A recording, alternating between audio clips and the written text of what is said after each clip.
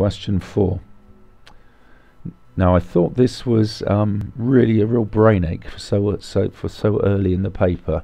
Yeah, it, but you know, there's a lot of work here which is indicated by the five marks. But you've just got to work your way through it, write down everything you can, and just pick up as many marks as you can.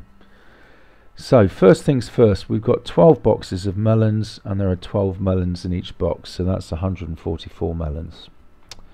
Now we're being asked to. Um, he made an overall profit of 15%. Work out how much Nigel sold each reduced price melon for. So first things first, we really need to work out um, what our overall profit of 15% is going to be. So this profit is on top of the, the cost. So you have your cost, and then the percentage profit is how much on top of that cost is your profit. So starting point, we need to work out our total cost.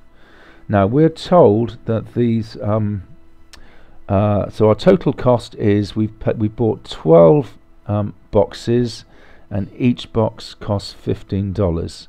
So that's $180 we paid for all the melons. Okay, 12 boxes, $15 per box. So our profit needs to be 15% of this $180. 0.15 times $180 is $27. So we need to make a profit of $27. Now they cost us $180. Now if we're going to want to make a profit of $27, we're going to have to sell all of them for $207. That's what we've got to sell them for in total.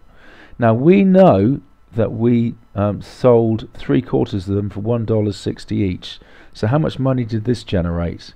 Well, three quarters of the melons is three quarters of the 144 melons, which is 108 melons, and we're selling those at $1.60 each, so that's $172.80 that those three quarters of the melons, the 144, uh, the 108 melons, have generated.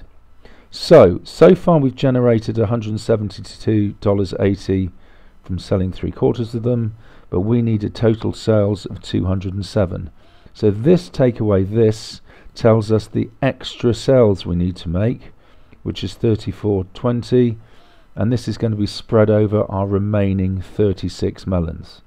That's being a quarter of the 144 melons, 36 melons. So $34.20 to be made from selling the remaining 36 melons. So how much is that per melon?